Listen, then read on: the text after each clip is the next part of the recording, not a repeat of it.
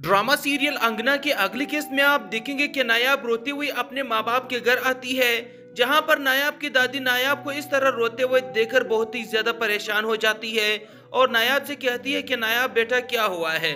तो नायाब बताती है कि, क्या होना है दादी? आपको नहीं पता कि कितना बड़ा इल्ज़ाम आपकी पोती पर लगाया गया है। यह सुनकर दादी बहुत ही ज़्यादा हैरान और परेशान हो जाती है और वो कहती है कि, कुछ बताओगे भी, नहीं तो मुझे इसी तरह हार्ट अटैक आ जाएगा। जिस पर नायाब कहती है कि आंटी ने मेरे ऊपर चोरी का इल्ज़ाम लगाया है। क्योंकि मेरी अपनी ही अंगूठी गायब हो गई थी कमरे से तो उल्टा उन्होंने ये वाविला मचा दिया। इस पर नायाब की दादी कहती है कि रजा ने क्या कहा इस बारे में? मुझे कुछ बताओ तो सही। नायाब कहती है कि रजा ने क्या कहना है? रजा भी अपनी माँ की ही जबान बोल रहे हैं। वो ये कहता है कि पहले तो इस तरह की कोई भी चोरी नहीं हुई और रही बात मुलाजमा की। मुलाजमा से माँ खड़े होकर सफ़ाई करवाती है।